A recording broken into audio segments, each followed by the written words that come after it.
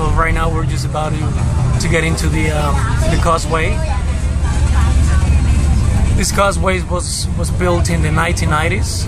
It's built by by the Cuban government, obviously, and it took like quite a long time. So as you can see, it's um, it's a road in the middle of the sea. So as you can see, sea over here and sea over here, right? So this is the island of Cuba back there, and right here we're just heading towards the Northern Keys, right?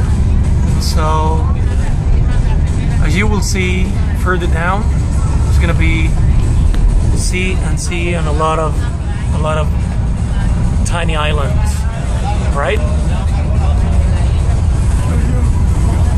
Check this out.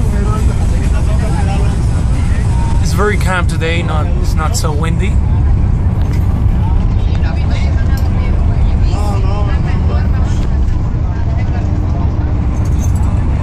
Fisherman over here.